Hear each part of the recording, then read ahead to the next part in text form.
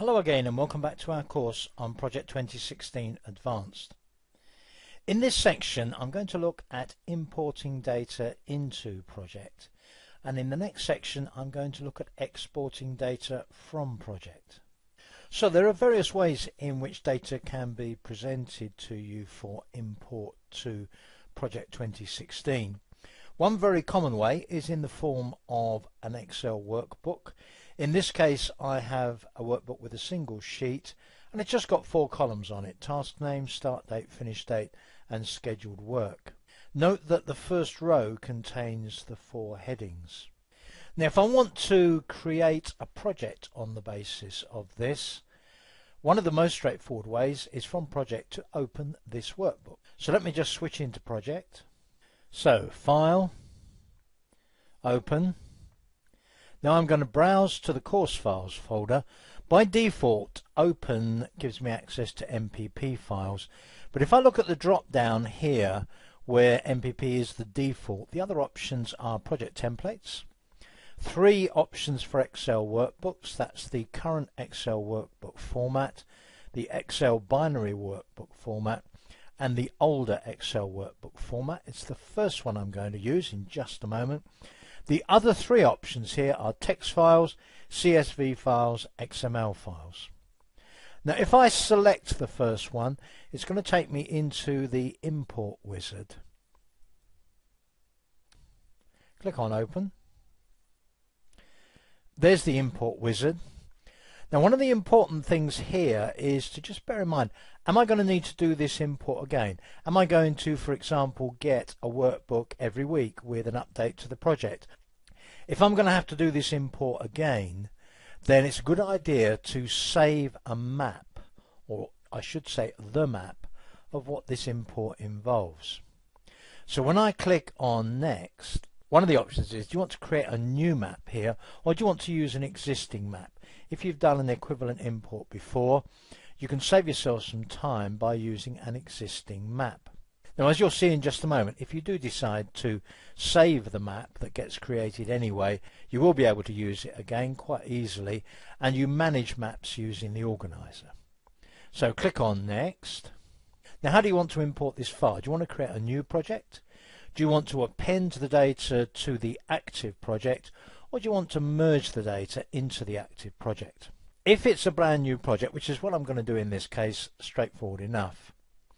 If you want to append the data to the active project, literally whatever I import will be added at the end and then if I need to do any more to incorporate it, that's up to me.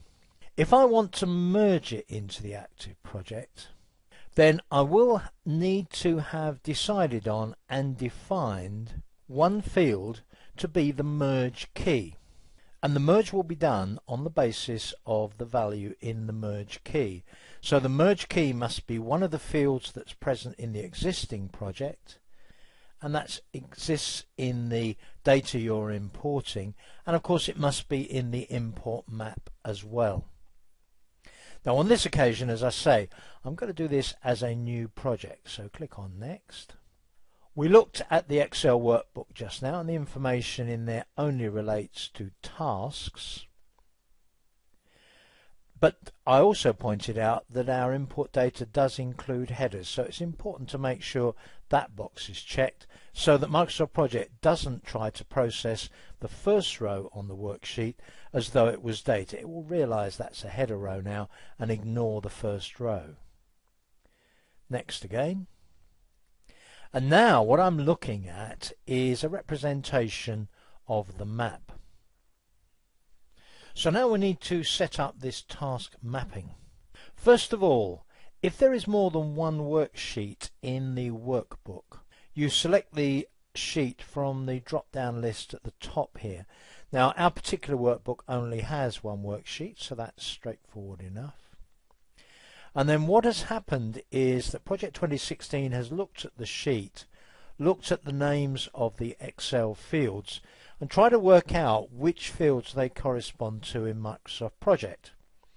Now, of course, it wasn't that difficult, but it still managed to make a pretty good job of it. So it's decided that the field that's called name in Excel is probably name in Microsoft Project. Start date is probably start, finish date is probably finish, scheduled work is probably work. And in fact on this occasion that's correct. If I'd had data in the Excel workbook that I didn't want to import and maybe project still tried to map a column to a project field, maybe come up with an answer that was wrong or maybe come up with an answer that was right. But if for any reason I don't want to deal with a particular field, if I select it, click on delete row, it won't be imported. So the mapping will not deal with that particular column and field. Now, of course, I need to check the mapping's correct, and if, say, it's taken the scheduled work field in Excel, and it isn't really the work field in project, it's something else, I can actually just click the drop down here and say what it should be, so that's pretty easy to change any that are wrong. But once you're happy with them all, click on Next. And I now have the opportunity to save this map. If I click on Save Map, and give it a suitable name. Click on Save, that will be saved in the organizer and I can use it again. Click on Finish. You will very often get a warning about project start dates. In this case, the data I've imported is actually quite old data and it's an old project which I am going to use again um, starting from a date round about now. Now, as you know, when Project 2016 creates a new project, it will normally create it with today's date as the start date. This is quite old data, so there's a conflict there. But if I click on OK, I'll fix the conflict in just a moment. So, there is my imported data. I haven't been through every row, obviously, but that looks about right to me, so that's pretty good. Let me deal with that project start date question. Let's go into project information. It has set today as the start date. Let me put it back to roughly where it should be and then I can move the whole project later. Let's start it from 1st of April. That gets rid of that conflict. And there you are. You've got a pretty good view of the whole project now as well. Now you may realize that for instance in the case of tasks 2 down to 14 we're actually dealing with a summary task and subtasks.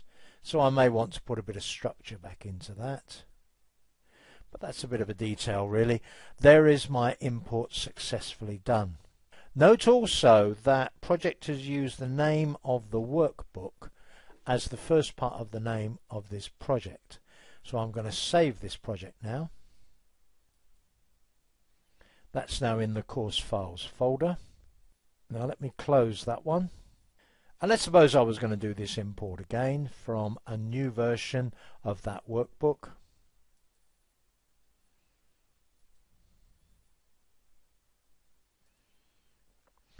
When I get to the relevant point in the import wizard, use existing map.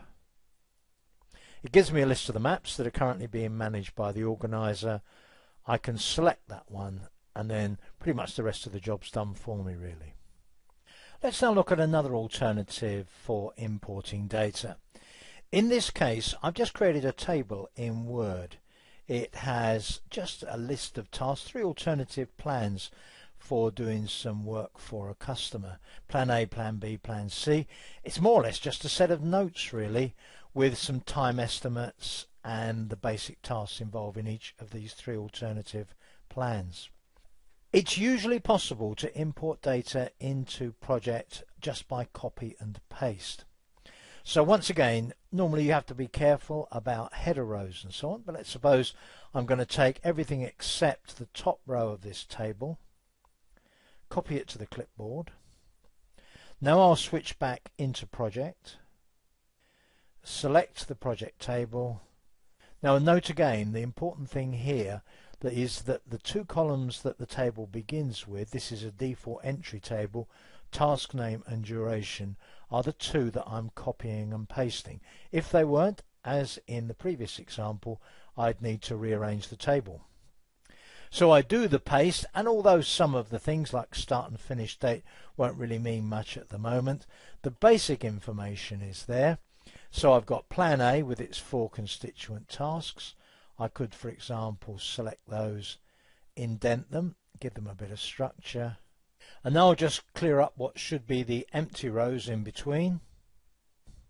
And then of course I can set about whatever needs to be done next, which may be to look at resources, assignments, work costs, etc. So we've looked at importing by opening a file and potentially using the import wizard. We've looked at copy and paste. I want to look at one other special case here and that is the case which actually quite a few people use where they want to import the contents of an Outlook task list. Sometimes people might be using Outlook, make a list of things that need to be done, start to sort it into some kind of order, and then they say what I really need to do now is to put this list into Microsoft Project.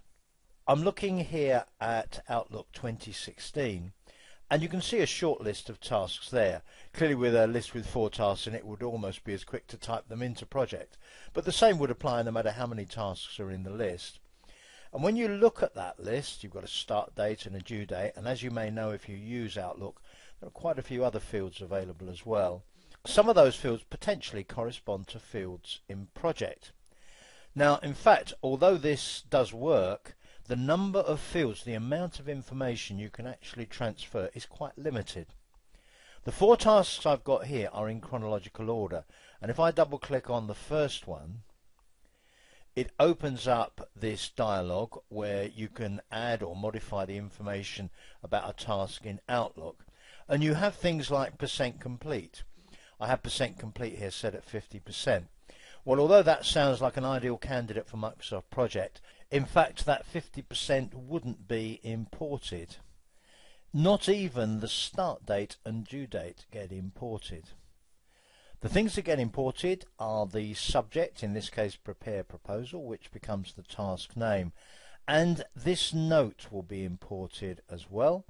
And just one other thing really, and that is if you go to the details option in the show group on the task tab within this task maintenance dialog, the total work, in this case it's set to one week, will be interpreted as the duration of the task.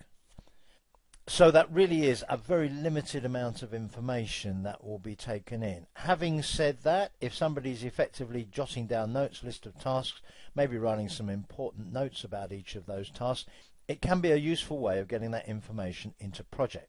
So let's switch into project now and import that list. So I have a new empty project here and on the task tab in the insert group the bottom of the task button one of the options is import Outlook tasks. Now when I click on that I see a list of tasks. Now in the Outlook you've just looked at there are only those four tasks. If there were more this is actually a structured list. So for instance at the very outside we have access to the Outlook folder tasks. So if I checked that box, I would get all of the tasks within Outlook for this user. Now if the tasks had categories and I was looking at them grouped by category here, if I wanted just a particular category, I could check that and just get that category. On the other hand, if I just wanted an individual task, I could select an individual task. Now on this occasion, since I have no categories, I really want everything in the folder. The simplest thing is to just check the whole folder there and click on OK. And there are my four tasks. Now notice they all get start date of the project start date, which is today. The total work values have been interpreted as duration. So the finish dates have been set accordingly. And the other interesting point is that the tasks are imported in alphabetical order of task name, which isn't necessarily very helpful. And then if I hover over one of the notes, you can see the notes that I added in Outlook. I can then of course save this project as a normal project and then start to do what I need to do with it, put in dependencies, get things into order and so on. Note that although it interpreted total work as duration when it did the import, the work in each case is set to zero hours. So as I say, I do know some people that use this, but it does have some fairly clear limitations as you can see. That's the end of this section. I'll see you in the next one. Hi, I'm Molly. Thanks for watching. Get your project on time and under budget by watching our complete training courses for Microsoft Project 2016. Click the Learn More button on the right, and I'll see you next week with additional videos.